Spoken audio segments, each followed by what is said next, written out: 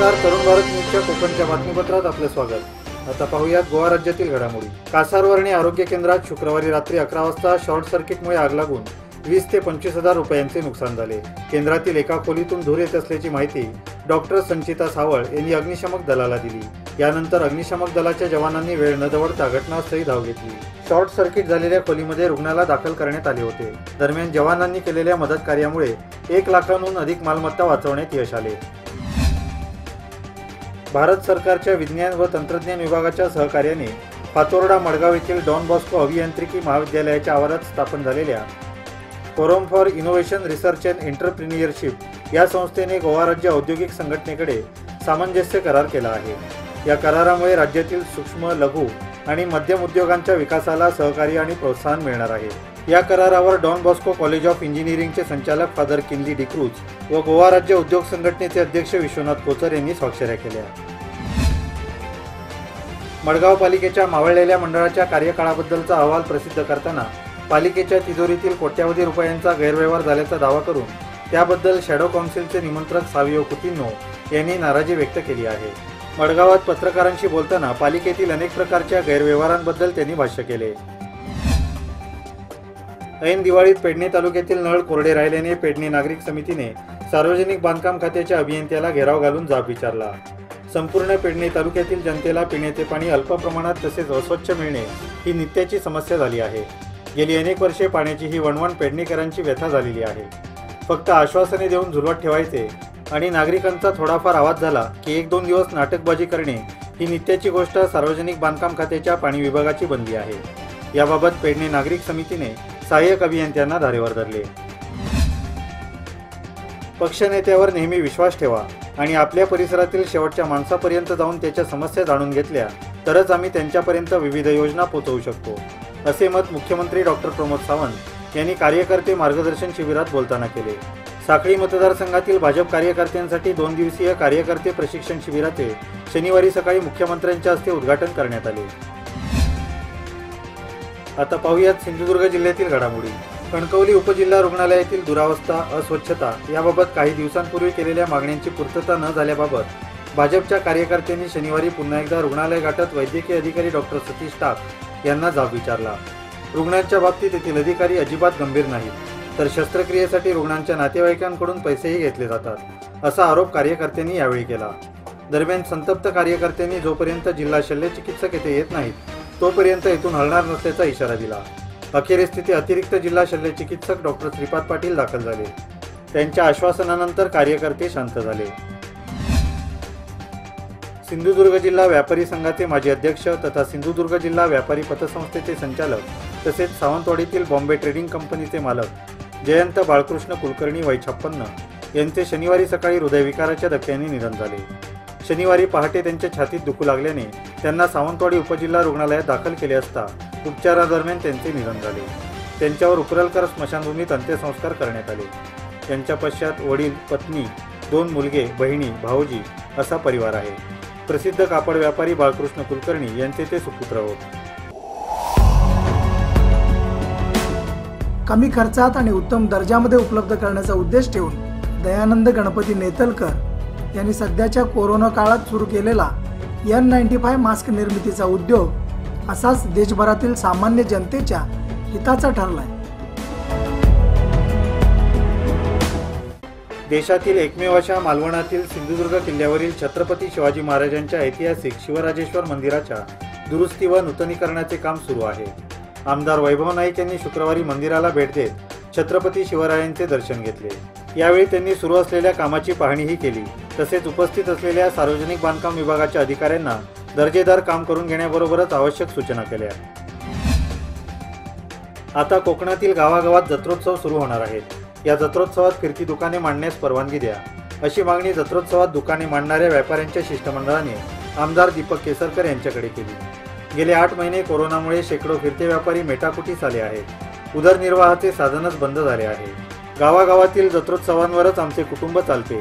त्यामुळे जत्रोत्सवात मंदिरांच्या आवारात दुकाने मांडण्यास परवानगी द्यावी अशी मागणी या निवेदनात करण्यात आली आहे. उभादांडा मूठ येथील समुद्रात अनधिकृत मासेमारी करणाऱ्या नवाबाग येथील दिफन या मिनी पर्सनेट नौकेवरील साहित्य जप्त करण्यात आले.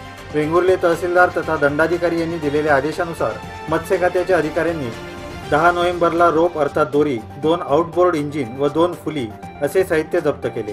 वेंगुर्ले दंडाधिकाऱ्यांच्या आदेशानुसार मत्स्य खात्याने केलेल्या कारवाईबाबत मच्छीमारातून समाधान व्यक्त होत आहे. आता पाहूयात रत्नागिरी जिल्ह्यातील घडामोडी. स्थानिक खासदार तथा आमदार यांच्यामार्फत मुख्यमंत्र्यांपर्यंत रिफायनरी प्रकल्पाबाबतचे आपले म्हणणे पोहोचवण्याच्या प्रयत्नांना यश येत नसल्याने प्रकल्प परिसरातील शिवसैनिकांनी आता थेट मुख्यमंत्र्यांनाच पत्र पाठवण्यास सुरुवात केली आहे. जनकल्याण प्रतिष्ठान व विलय ग्रामस्थांच्या वतीने शिवसेनेचे माजी नगरसेवक सुहास तावडे यांनी मुख्यमंत्री उद्धव ठाकरे यांना पत्र लिहून भेटीसाठी वेळ मागितला आहे. सुरुवातीला विरोधानंतर रद्द झालेल्या रिफायनरी प्रकल्पाला त्यानंतर मात्र मोठे समर्थन मिळत आहे. हा प्रकल्प राजापूर तालुक्यातच व्हावा याकरिता मागील अनेक महिन्यांपासून संघर्ष सुरू आहे. मात्र राज्यात सत्तेच्या चाव्या हातात असलेली शिवसेना या प्रकल्पाच्या विरोधात असल्याने समर्थकांच्या मागणीला यश येताना दिसत नाही.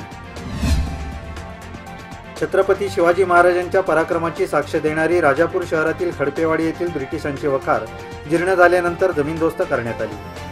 त्यानंतर या वखारीचे पुनर्निर्माण व्हावे अशी मागणी सातत्याने होत आहे. अद्यापही या प्रस्तावाला चालना मिळालेली नाही.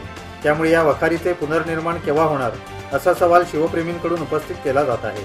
ब्रिटिशांच्या कालावधीत निर्माण झालेली राजापूरची वखार म्हणजे एकेकाळी राजापूरची शान होती.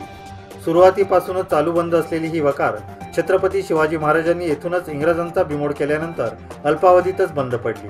त्यानंतरही गेली अनेक वर्षे तिथे अस्तित्व दिसून येत होते. मात्र काळाच्या ओघात पुरातत्व विभागाचे याकडे दुर्लक्ष झाल्यामुळे ही वकार नामशेष झाली आहे. शासनाने सर्व प्रकारच्या शाळेत इयत्ता नववी ते बारावी पर्यंतचे वर्ग तेवीस नोव्हेंबरपासून सुरू करण्याचा निर्णय घेतला आहे. या पार्श्वभूमीवर शिक्षकांनी सतरा ते बावीस नोव्हेंबर पर्यंत शासकीय केंद्रात कोविड नाईन्टीनची वैद्यकीय तपासणी करून घेण्याचे सांगण्यात आले आहे. दरम्यान कोविड नाईन्टीनची तपासणी करून घेण्यासाठी देवरुख येथील जिल्हा परिषद शाळेमध्ये शिक्षक व शिक्षकेतर कर्मचारी गर्दी करीत आहेत. त्यामुळे कोविड नाईन्टीनच्या तपासणी केंद्रातच सोशल डिस्टन्सिंगचा फज्जा उडाला असल्याचे दिसत आहे. आघाडी सरकारच्या कारकिर्दीत सन दोन हजार अठरामध्ये बीडीओ तत्वावर रत्नागिरी बसस्थानक मंजूर करण्यात आले होते. त्यानंतर सत्ता बदलानंतर सुधारित आराखडा तयार करण्यात येऊन रत्नागिरी बसस्थानकाची जी प्लस टू अशी नवीन इमारत बांधण्यासाठी भूमिपूजन झाल्यानंतर प्रत्यक्ष बांधकामाची कार्यवाही देखील सुरू झाली.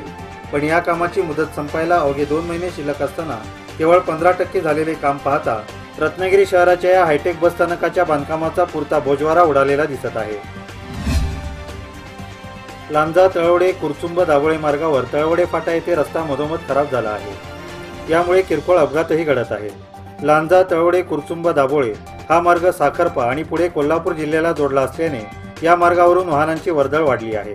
पावसाळ्यात या मार्गावर अनेक ठिकाणी खड्डे पडले आहेत. मात्र तळवडे फाटा या ठिकाणी खराब झालेला हा रस्ता मोठ्या अपघाताला निमंत्रण देत असून यापूर्वी येथे किरकोळ अपघातही घडले आहेत. सार्वजनिक बांधकाम विभागाने वेळीच रस्ता डांबर व खडी टाकून व्यवस्थित करावा अशी मागणी वाहन चालक नागरिक व प्रवाशांमधून केली जात आहे. रत्नागिरी जिल्हा प्रशासनाने जिल्ह्यातील सात खाड्या आणि नद्यांमधील हातपाटीद्वारे काढण्यात येणाऱ्या वाळू उत्खननासाठी लिलाव जाहीर केलेले आहेत. असे असतानाच आता मेरीटाईम बोर्डाने जिल्ह्यातील सहापैकी वाशिष्ठी नदीतील एका गटात उत्खनन करण्यास एका ट्रेडर्सला परवानगी दिली आहे. लवकरच आयुक्त कार्यालयाकडून दर ठरवल्यानंतर जिल्हा प्रशासनाकडून लिलाव जाहीर होणार आहे. खेड शहरातील डाक बंगला परिसरातील सहा फ्लॅटकडून सत्तेचाळीस हजाराचा ऐवज लंपास करणाऱ्या चोरट्यांचा पोलिसांना अद्याप सुगावा लागलेला नाही. या घरफोड्यांनंतर पोलीस निरीक्षक सुवर्ण पत्की यांनी गस्तीत वाढ केली आहे. नागरिकांनाही सतर्क राहण्याच्या सूचना त्यांनी केल्या आहेत. अपार्टमेंटमध्ये अनोळखी व्यक्तींना प्रवेश देऊ नये तसेच संशयास्पदरित्या वावरणाऱ्या व्यक्तींची तातडीने पोलिसांना माहिती द्यावी असे आवाहनही पोलीस निरीक्षक सुवर्ण पत्की यांनी नागरिकांना केले आहे. याचबरोबर हे बातमीपत्र इथेच संपले. धन्यवाद. शुभरात्री.